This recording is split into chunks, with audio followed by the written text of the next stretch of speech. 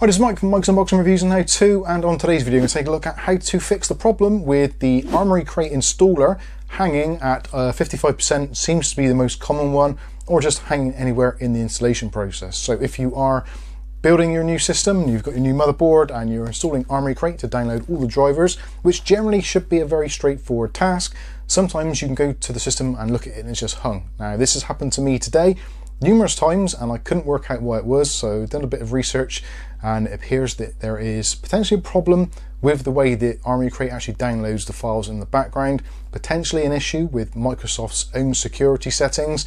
So we'll be taking a look in the settings section to see how you can remedy it. There is also a folder all of which will be listed in the video description below so if you want to you can just copy and paste it.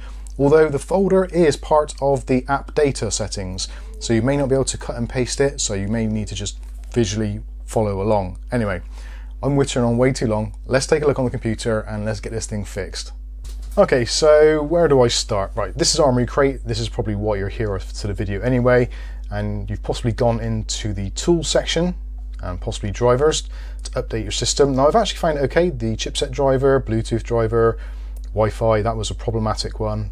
Uh, but for some reason it just seems to keep on hanging on the Realtek LAN driver, which is weird because the LAN is actually working. That's how I'm connected to the internet. But it does seem that there is a group of folders which sometimes get corrupted or don't have the correct permissions. Now there's two prongs of this. The first one is if we go into the settings, so this is going to be for Windows 11, Windows 10 is going to be similar, but not exactly the same, so you're going to have to find your own way there. So click on the start bar, go into settings, then you want to head over into apps, and go into advanced app settings. And at this point here, you've got this option there. It says choose where to get apps. Now currently this is set to anywhere. You can choose anywhere, but let me know if there's a comparable app in the Microsoft Store, anywhere but warn me installing an app, blah, blah, blah. You get the general idea. So if yours is set to the store only or anything else other than anywhere, potentially Armoury Crate might stall. So you can experiment with that. So maybe try changing that and then changing it back to anywhere just so it kind of recognizes what it's supposed to do. So that is one thing you can try. Then you can fire up the Armoury Crate app again, close it, open it back up or reboot the system and see if your downloads work. If for some reason they don't, then there is something else we can do. So I've actually got this in a notepad document so this is the location where it starts downloading. So what I'm to do is I'm to open up this location and show you actually what happens.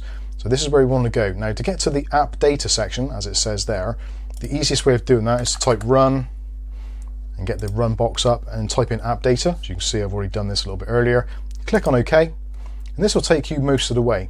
So this takes you up to app data. So now we need to go into local from there and basically just follow the rest of that along. So it's local, then we want to go into packages and then into the Armoury Crate one, which is here. Then into local state and then into support temp, which is right at the bottom there. There is some more down there, but yeah, support temp is the one you want. So this is the folder or file which fills up with the drivers. So if yours hangs, you can just download them from here. So let's click on this at the moment. So if we go to this section. So we're going to choose the Realtek LAN driver. We choose download and install. Now hopefully it's going to hang still at 55%.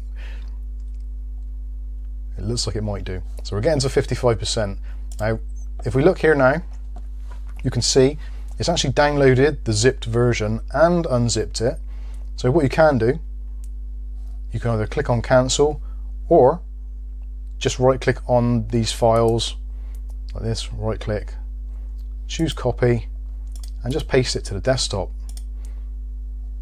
So if for some reason it doesn't work, which actually looks like it isn't going to, so we close that down now, you see, yeah, we're still hung on 55%. Now some of you may find a little bit of benefit going away, just go and have a cup of tea or something, then come back and you may find that it's actually going to work and it will magically get to 100% and then you can carry on with the rest of your day and pretend nothing bad happened. But if you don't have the time and just want to get on with it, you can just cancel this installation.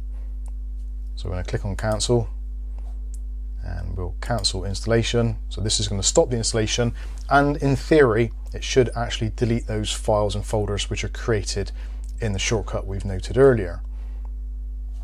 So hopefully that's going to finish anytime soon. I think this is the bit where it's actually deleting the files.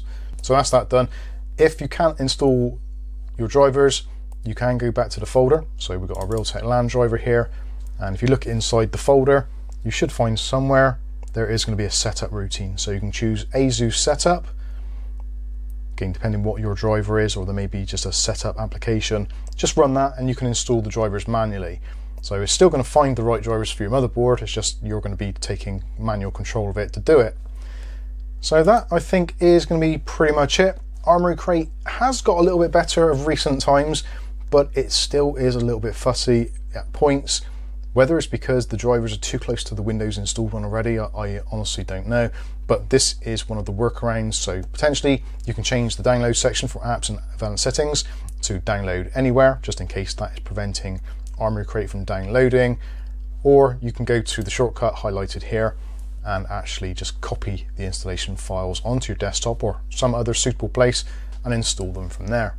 So there we go, relatively straightforward thing to do. It is a little bit of a pain in the backside and potentially the location will change if it does. If I get notified about it from some of you out there in viewerland, then I will update the location, but I think it's going to pretty much remain where it is. That seems to be the default location for now.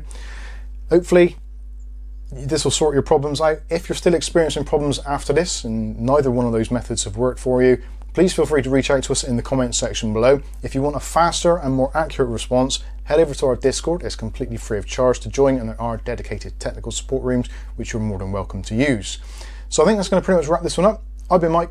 This is Mike's Unboxing Reviews and How To and hopefully we'll catch you in the very next video. Thanks for watching.